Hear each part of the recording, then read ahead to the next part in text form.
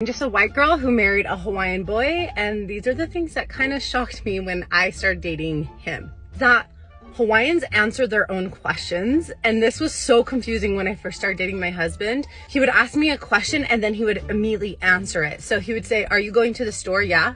You want chicken for dinner, yeah? Thing is, is that they don't say flip-flops, they say slippers. But I always grew up that slippers was what you wore in the house, like the fuzzy ones. Hawaii, it's totally normal to go into most places without shoes or a shirt.